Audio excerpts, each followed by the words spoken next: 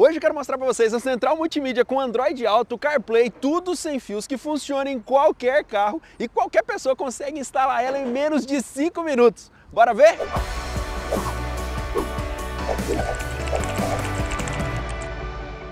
E aí, entrados, tudo tranquilo? Aqui é o Rony trazendo para vocês mais um vídeo hoje para mostrar para vocês essa central multimídia da Nave Pro. É uma central multimídia portátil e é tudo isso que eu falei para vocês aí no começo, né? Tem Android Auto, CarPlay, tudo sem fios, facílima de instalar e tem o lance de ser portátil, né? Se você mora numa cidade muito perigosa, você pode tirar ela e guardar. Se você tem um carro aí que não funciona, aquelas molduras convencionais, ou simplesmente você não quer mexer na moldura no carro, não quer trocar porque acha que não fica legal, Cara, essa central multimídia aqui vai resolver o teu problema e eu vou te mostrar tudo sobre ela nesse vídeo. Então deixa o gostei, se inscreva aqui no canal se você ainda não for inscrito e bora lá ver como que funciona. E essa daqui é a central multimídia, rapaziada. Aqui na parte da frente nós já temos os botões de volume, botão de página inicial e o buraquinho aqui do microfone essa proteçãozinha que vocês estão vendo aqui, pode arrancar ela caso você queira, né? Ela sai, ela é totalmente removível, ela vem separada inclusive.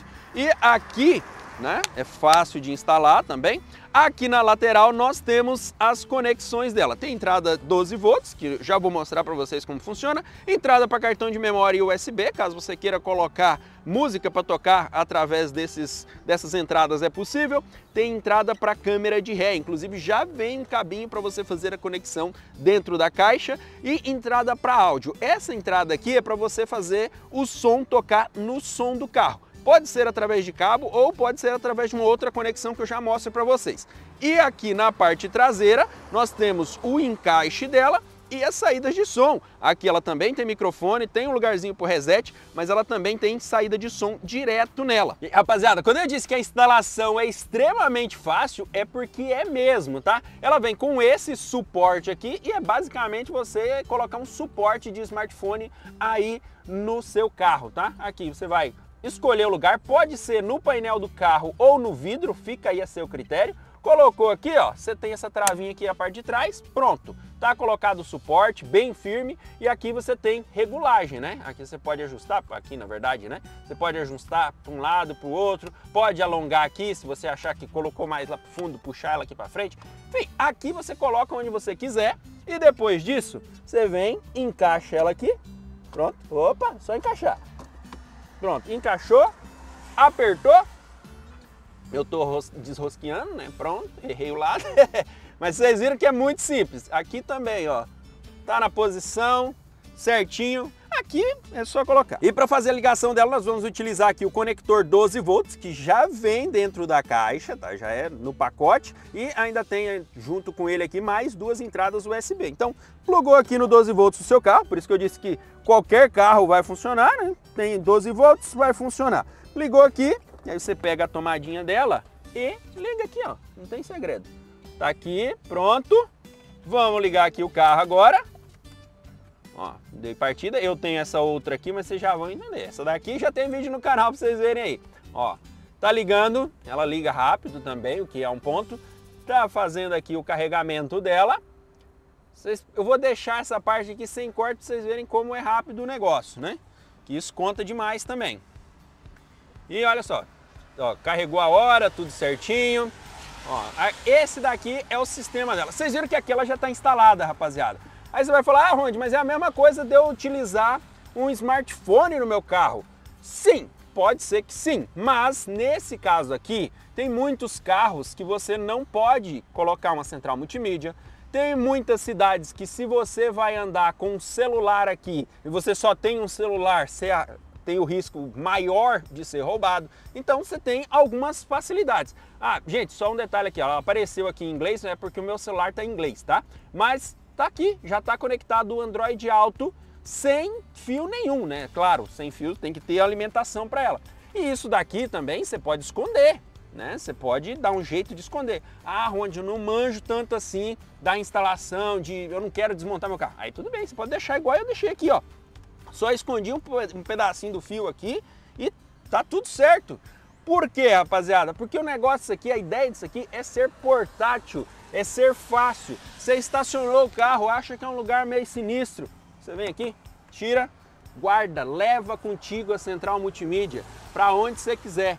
Entendeu? Esse é o lance. E é pequenininha, não ocupa muito espaço. Se você quiser guardar no porta-luva, se você quiser guardar na mochila, na bolsa, enfim, você entendeu que o negócio é portátil e fácil de instalar. De fato, funciona na praticidade que eu falei para vocês, né? extremamente rápido para instalar e para funcionar. E esse daqui é o sistema dessa central multimídia portátil. Como vocês podem ver, ela não tem um sistema Android. Nós estamos falando de uma central multimídia que o foco dela é justamente você usar o Android Auto e CarPlay sem fios. Né? Então você tem essa praticidade, você tem essa facilidade. Se você quiser plugar um USB aqui também é possível, plugar um cartão de memória é possível. Tem aqui é para você fazer a conexão Bluetooth, aqui na parte das configurações dela. Nós temos mais alguns ajustes, até definição de papel de parede nós temos aqui, definição de hora, obviamente, para você usar ela, só que ela não tem memória interna, ela não tem a possibilidade de você instalar aplicativos. Tá? O que nós temos aqui é a possibilidade de fazer essa transmissão, como eu mostrei,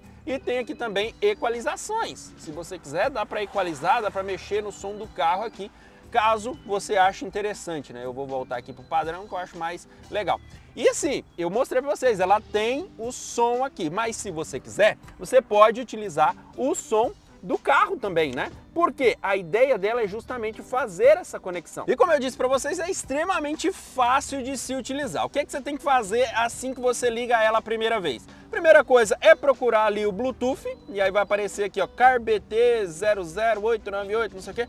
Você vai ali e conecta no Bluetooth. Se pedir senha, geralmente é 1, 2, 3, 4 ou 4 vezes o número 0. Fácil assim, tá? Nesse caso aqui, se você vai utilizar o Android Auto CarPlay, óbvio que é bem a proposta dela, né? Você tem que vir no Wi-Fi, procurar o Wi-Fi dela aqui também, ó, que usa o mesmo nome, e aí a senha é 8 vezes o número 8, tá? Simples assim, conectou o Bluetooth e o Wi-Fi, tá pronto. Aí você vai vir aqui, clicou, Android Auto ou CarPlay, pronto, tá funcionando. Gente, essa daqui é uma multimídia que a proposta dela é extremamente portátil, fácil de usar, fácil de instalar, como vocês estão vendo, e a conexão é muito fácil. E a partir daí, depois que você fez isso a primeira vez, que o, a própria central já te direciona a fazer isso, né? Quando você entra aqui que não tem nada conectado, como é o caso do CarPlay, ele fala aqui tudo certinho o que, que você tem que fazer. Só fala aqui em inglês, mas é esse passo a passo que eu te falei. Conecta Wi-Fi, conecta Bluetooth, pronto. Depois disso, toda vez que você ligar o carro, ela já vai conectar automaticamente, igual vocês viram aí no começo. Só para vocês verem aqui, né? Já tirei aqui do painel, rapidamente ficou nenhuma marca e aqui ó, já está colado no vidro. Fica aí a seu critério onde que você quer colocar. Mas, eu falei, né? Tem um jeito disso aqui tocar no som do carro, que é extremamente simples. Se o seu carro tem ali a entrada P2, basta você ligar o cabo P2 aqui, do ladinho dela, puxar e ligar no P2. O meu tinha um rádio aqui, por isso que eu estou batendo desse lado aqui, tá gente? E aí a entrada P2 era mais ou menos por aqui.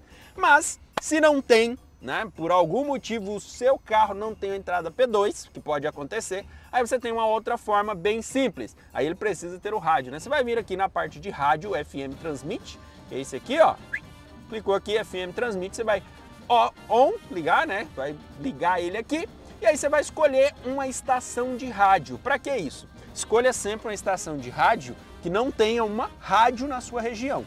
Por quê? Porque nós vamos fazer a transferência de áudio via rádio para cá. Então vou vir aqui no rádio do meu carro e colocar essa mesma frequência. Então quando eu ligo aqui, rapaziada, ó, no meu carro aqui tá a frequência de 96 MHz, que é uma frequência que não tem uma rádio aqui na região. E aí é só eu colocar na mesma frequência, clicar no on e pronto, o som vai tocar aqui. A hora que eu der play aqui na minha central, através do Android Auto, do CarPlay, vai tocar no som do meu carro. E olha só, rapaziada, já tá tocando a música de fundo aqui, ó. Só aumentar aqui. Tá vendo? Vou até baixar aqui, né? Mas olha só, eu tô controlando o volume por aqui. Ah, Rony, você tem uma outra central. Gente, isso aqui é para mostrar para vocês que você conecta o rádio, o rádio do seu carro com essa central multimídia, tá?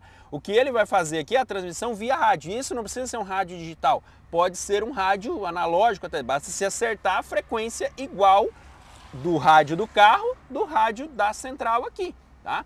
E aí é só essa facilidade. Você ligou o carro, ela já vai conectar, você entra aqui, liga, o coisa. Se você deixar desligado, ó, tá tocando aqui. Ela tem os falantes aqui. Óbvio que não é a melhor qualidade sonora, mas está tocando aqui. Se você não tiver nada de som, já serve. Bom, rapaziada, o que, que vocês acharam aí? É uma central multimídia muito fácil de instalar, portátil, é o que eu falei aí, né? Você pode instalar em qualquer carro. Então, se você tem aí um carro antigo, carro de colecionador, que o cara não quer mexer de jeito nenhum ali na parte para colocar uma moldura, talvez não tenha moldura, você tem essa facilidade de utilizar isso daqui, de repente você quer dar aquele rolê, você pode colocar. Cara, eu acho que até em moto você pode colocar isso aqui, né? É só ligar um 12 volts, você coloca coloca essa central aqui, tudo com facilidade. Caminhão, van, cara, de repente você tem aí uma frota de caminhão, quer colocar um desse? Olha que opção interessante, você não precisa mexer na central do carro. Tem várias opções. E aí tem o outro ponto que eu falei para vocês, que é de morar em lugares muito perigosos, né? E aí você deixar uma central dessa aqui dando bobeira, ela desaparece do carro. Então você tem várias possibilidades, uma facilidade imensa como eu mostrei aí para vocês, qualquer pessoa consegue instalar rapidamente e é facílimo de configurar também. E assim, nós estamos falando aqui de uma central multimídia que ainda dá para dizer que é custo-benefício, porque no momento ela está custando 525 reais no AliExpress. Aonde é para importar? Sim, rapaziada, é para importar. O pessoal da Nave Pro também está trazendo algumas unidades com estoque no Brasil mas no momento você consegue importar essa central multimídia. Né? É uma caixa que nós recebemos que não é uma caixa muito grande, não chama tanta atenção, e muitas pessoas que já importaram centrais multimídia da Nave Pro, que nós indicamos por aqui, receberam sem taxa. As pessoas que receberam com taxa foram taxas pequenas, taxas que ainda valiam muito a pena. Porque aqui no Brasil, com 500 reais, você não compra uma central multimídia dessa e para encontrar essa proposta aqui, olha, difícil demais. Então, vale muito a pena você ficar de olho. Se você quiser comprar, tem o link aí na descrição. E eu quero que você comente aí, você utilizaria essa central multimídia? Portátil, fácil de instalar, você acha que é interessante? Me diz aí nos comentários. Ou em que carro você utilizaria uma dessa aqui? Me conta aí que eu quero saber, hein? E se você curtiu, deixa o gostei, se inscreva no canal se você ainda não for inscrito. Espero te ver no próximo vídeo. Valeu!